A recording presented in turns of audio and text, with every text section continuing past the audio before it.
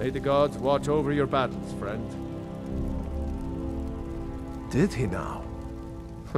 the man is persistent, I'll give him that. I suppose it's time I give him an answer. Proventus, what do you make of all this? If Ulfric were to attack Whiterun, As in all things, Lord, caution. I urge us to wait and see. Pray wait. I'm of a mind with Irileth. It's time to act.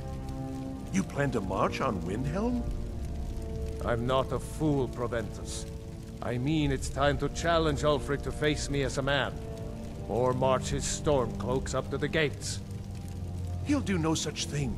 A dagger in the back is all you could expect. He was rather straightforward with Torygg. Torygg? He simply walked up to the boy and murdered him. That boy was High King of Skyrim. I'm not the High King. But neither am I a boy. If Ulfric wants to challenge my rule in the old way, let him. Though I suspect he'll prefer to send his storm cloaks to do it for him. True. He's already proven his personal strength. Now he seeks to prove his armies. Then might I urge you to consider General Tullius's request? I mean, if you are bent on offending Jarl Ulfric. Ulfric is the one who has offended. But Proventus has a point. Ulfric has made it clear.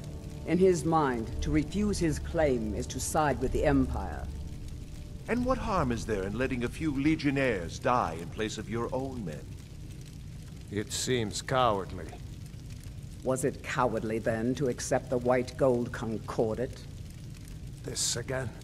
That was different. Was I given a chance to object to the terms of the treaty? No. The Jarls weren't asked. We were told. And we had to like it. The chests of gold didn't hurt. Damn it! This isn't about gold! It's time to decide. Lord, wait. Let us see if Ulfric is serious. Oh, he's serious. But so am I. Finally. So about this axe. You can return this axe to our friend. The esteemed Jarl of Wind... Proventus, bring me my pen. And the good parchment. Are we writing a letter, Lord? Yes, to General Tullius.